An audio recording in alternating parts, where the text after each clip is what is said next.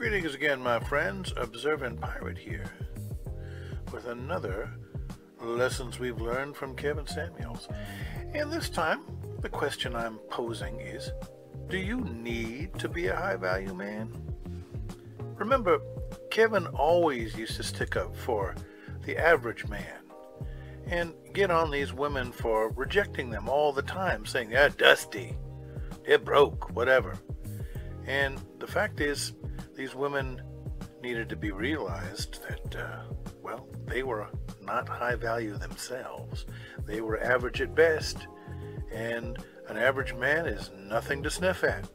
It's perfectly fine to be with an average man if you come from an average background, average education, etc., and make average money.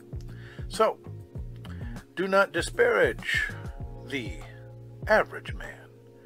There's a lot more of us than there are high value men.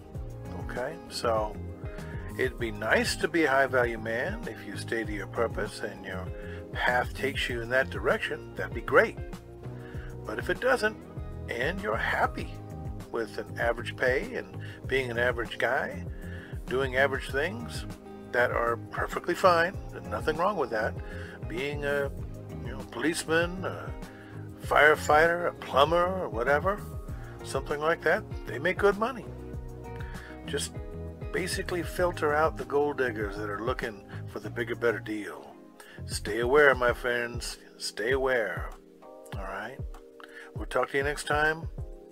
Bless.